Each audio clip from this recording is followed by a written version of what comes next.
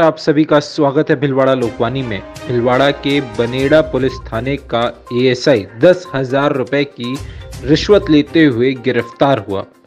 ACB की भिलवाड़ा द्वारा आज कार्रवाई करते हुए मदन लाल वैष्णव, सहायक उप निरीक्षक पुलिस थाना बनेड़ा, जिला शाहपुर को परिवाद से, परिवादी से दस हज़ार रुपए रिश्वत लेते रंगो हाथ गिरफ़्तार कर लिया गया।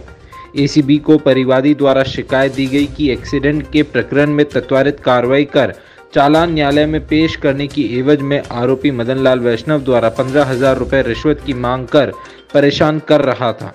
शिकायत का सत्यापन होने पर ट्रैप कार्रवाई करते हुए आरोपी एसआई मदन लाल को परिवादी से दस हज़ार रुपये की रिश्वत लेते हुए रंगे हाथों गिरफ़्तार किया गया। देखिए ये रिपोर्ट।